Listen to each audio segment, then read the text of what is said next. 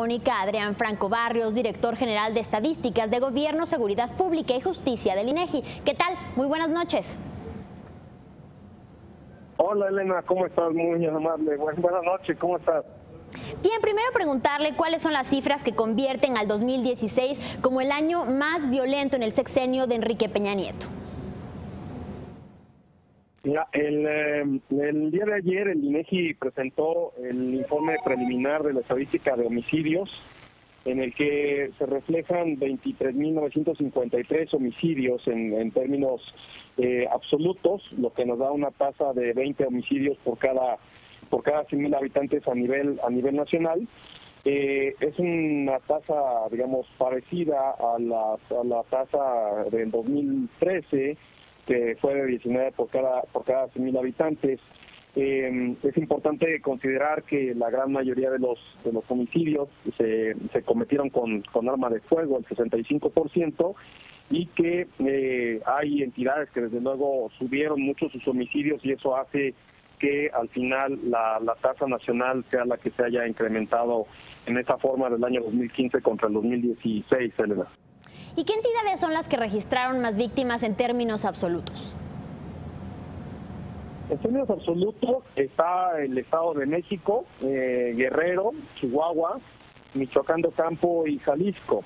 Eh, Sinaloa y la Ciudad de México. Con esas siete entidades tenemos más de la mitad o prácticamente la mitad de los homicidios a nivel nacional. Ahora, algo muy importante, eh, Elena, y para el auditorio es, es lo siguiente. La forma internacionalmente aceptada de, de medir los homicidios, lo sabemos, es por, por tasa por cada 100.000 habitantes. Y de esa forma, entonces el, mapa del país cambia un poco en la, en la, en la observación del fenómeno. Eh, así tenemos, por ejemplo, que Colima eh, es el estado que tiene la tasa más alta del país de homicidios por cada 100.000 habitantes, con 82 por cada 100.000, Guerrero 71 y Chihuahua con 47, sigue Sinaloa con 43 y Zacatecas con 36. Estos incrementos en estos en estos estados en particular en esas entidades es lo que está configurando, eh, digamos, el problema local en la suma a nivel nacional es lo que está configurando este nivel de homicidios que, alcanzamos este año, al menos en, en, de forma preliminar. Director, ¿y alguna de ellas registró saltos importantes de las que nos mencionó? Eh, sí, el, el, eh, por ejemplo, Colima incrementó sus homicidios en 167%, Zacatecas 70% y Michoacán 53%. Eh, Morelos 37%, Campeche 38.8%.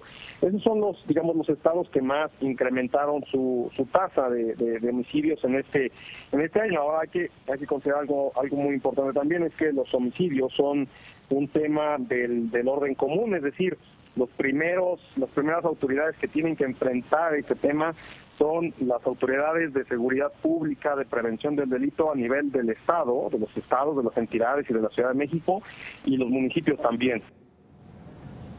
¿Y aquí en Ciudad de México en qué zona se cometió el mayor número de delitos? Hace unos días, hace una semana y media, publicó también el instituto la denominada Encuesta Nacional de Seguridad Pública Urbana.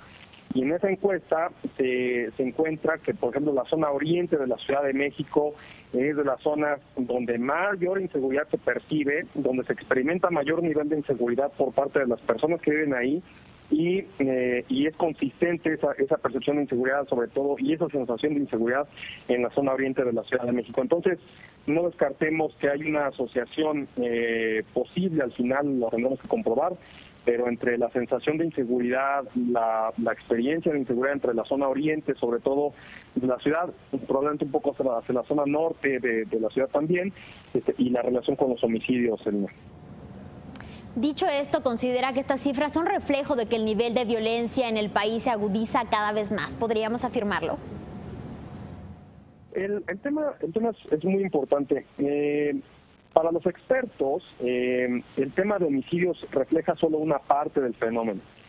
Es diferente, eh, por ejemplo, a la victimización. Hay lugares en el país eh, donde, por ejemplo, los homicidios son muy altos eh, y, podríamos ver en, los mismos estados que, publicamos recientemente, como el estado de, de, Colima o de Chihuahua, donde, donde los homicidios son probablemente un fenómeno muy, muy elevado. Sin embargo, la gente sale a la calle y no siente temor. Y hay otros lugares donde se combinan ambos factores. Puede ser el estado de, Guerrero, el propio, algunas zonas del conurbado de la Ciudad de México, por ejemplo, donde la gente mm, siente temor de salir a la calle, eh, sabe que puede ser asaltada en la calle o en transporte público, eh, sabe que puede ser extorsionada los, los, los comerciantes, etcétera. Entonces, el, el, el, fenómeno de decir si es la, el año más violento o la zona más violenta o las regiones más violentas tiene muchas muchas aristas en el fenómeno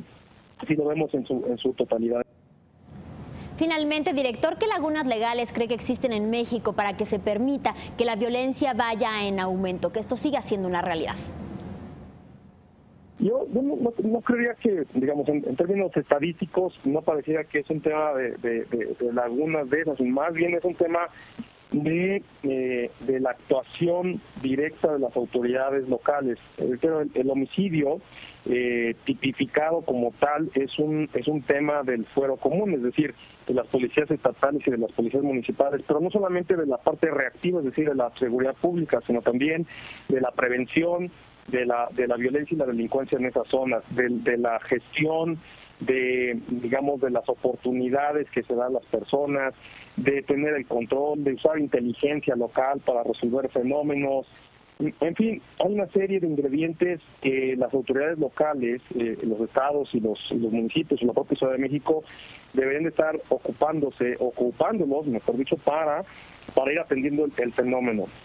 Tenemos un país, eh, como todos lo sabemos, de muchos contrastes, mientras que tenemos estados como Colima, que este año está reflejando, bueno, en 2016 está reflejando esos 82 homicidios por cada 100.000 habitantes, como y, tenemos entidades como Yucatán, o que tiene tres homicidios por cada 100.000 habitantes. Yucatán eh, tiene un nivel de homicidio más o menos comparable a algunos países de Europa Central, Canadá tiene un homicidio por cada 100.000 habitantes, entonces tenemos muchos extremos y eso lo que nos refiere es que son las autoridades locales las que tienen que ir eh, utilizando sus recursos, sí, sí legales, pero sí también los presupuestales, los tácticos, los estratégicos y los preventivos para, atender el fenómeno desde, desde lo local, Elena.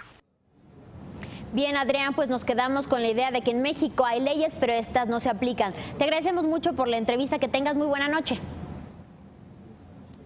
Igualmente, Elena, le agradecemos la, entrevista y los datos están a disposición de todo su auditorio y de todo el público en general en la página del, del instituto. El agradecido soy yo. Buenas noches.